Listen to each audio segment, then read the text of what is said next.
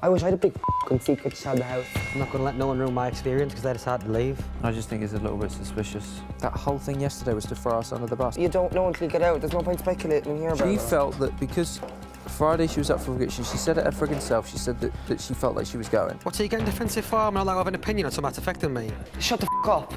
it's just scary two people are like looking at me in the face and saying they're shocked that I'm up for eviction when they nominated me. I don't know what I've done. Like, I could have done something so bad.